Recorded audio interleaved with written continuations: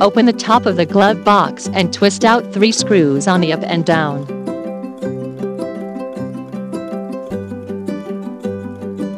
Remove the glove box. Pull out all of the wiring harness.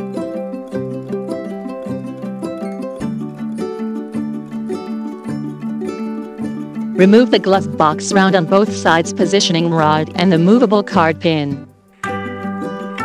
Separate the glove box inner and outer. Position the locating support iron plate to the glove box inner location. Use knife cut plastic along the positioning plate edges.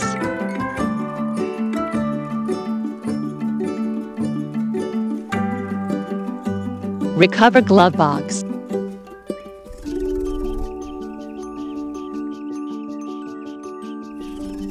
Install screw positioning iron to the appropriate location using electric drill punch then keep the iron plate.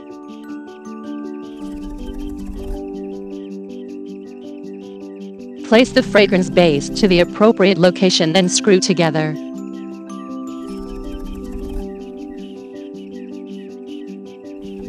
Connecting hose and fragrance base.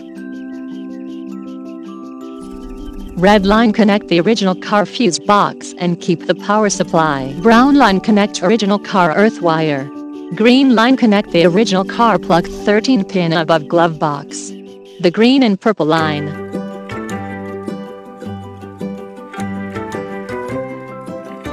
The blue line connect the small lamp purple line in the glove box.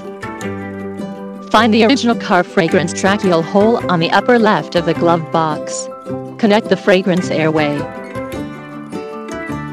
Recover glove box wiring harness.